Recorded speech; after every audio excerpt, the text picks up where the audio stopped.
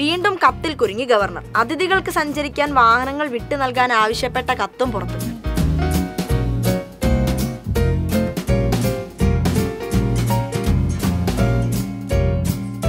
ഇതൊന്നും ആരും കാണുന്നില്ല. ഇപ്പോഴും ആ കോർപ്പറേഷന്റെ ഫ്രണ്ടിൽ ബ്ലോക്കാണ്.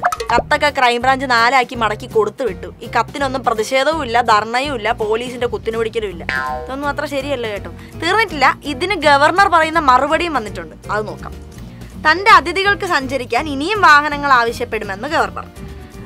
തന്റെ അതിഥികൾക്ക് സഞ്ചരിക്കാൻ ടൂറിസം വകുപ്പിന്റെ വാഹനങ്ങൾ ഇനിയും ആവശ്യപ്പെടുമെന്ന് ഗവർണർ ആരിഫ് മുഹമ്മദ് ഖാൻ. വേണമെങ്കിൽ പത്ത് കാറുകൾ വരെ ആവശ്യപ്പെടും. തന്റെ അതിഥികൾ കാൽനടയായിട്ടാണോ യാത്ര ചെയ്യേണ്ടതെന്നും ഗവർണർ ചോദിച്ചു.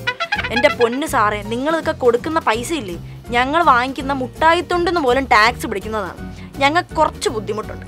മന്ത്രിമാരൊക്കെ പണിയായ വണ്ടിയും കൊണ്ട് നടക്കുമ്പോൾ സാറിന് പോരാഞ്ഞിട്ട് സാറിന്റെ കുഞ്ഞമ്മയ്ക്കും കൊച്ചിച്ചനും ഫ്രണ്ട്സിനും ഒക്കെ വണ്ടി വേണമെന്ന് പറയുന്നത് പോട്ടെ. ഇനിയും ചോദിക്കൂ എന്നൊക്കെ ഭീഷണിയും കൂടെ. അവരൊക്കെ കാൽനടയായിട്ട് പോകുമോന്ന്. അതെ ഞങ്ങളൊക്കെ നടന്നും ബസ്സിൽ തൂങ്ങിയും ഒക്കെയാണ് പോണത്. ഞങ്ങളുടെ പൈസ നിന്ന് നിങ്ങൾക്ക് ഇനി ഇതും കൂടെ തരാം. സർക്കാരിന് വേറെ വഴിയില്ല. നിങ്ങൾ തൊപ്പിയൊക്കെ വെച്ച് ഇങ്ങോട്ട് പറഞ്ഞു വിട്ടേക്കുന്നതുകൊണ്ട് സഹിച്ചേ പറ്റൂ. ആൾക്കാർക്ക് അങ്ങനെയല്ല. വെറുതെ ഇരിക്കുകയല്ലേ? പുറത്തോട്ടിറങ്ങി ആ രാജ്ഭവന്റെ പുറത്ത് തോട്ടക്കാരൻ ചെയ്യുന്ന പണിയൊക്കെ നോക്ക്. അയാൾ അന്തസ്സായിട്ട് ജോലി ചെയ്താണ് ജീവിക്കണം. നിങ്ങളുടെ നാട്ടിൽ നിന്നും ജോലി ചെയ്ത് ജീവിക്കണം എന്നുള്ളവരൊക്കെ ഇങ്ങോട്ടല്ലേ വരണേ? നിങ്ങൾക്ക് മാത്രമാണ് പിച്ചച്ചട്ടി പോലും കൈയിട്ട് വരാനുള്ള ഈ മൈൻഡ് സെറ്റ് ഇതൊന്നും കുറേ കാലം ആൾക്കാർ സഹിക്കൂല കേട്ടോ.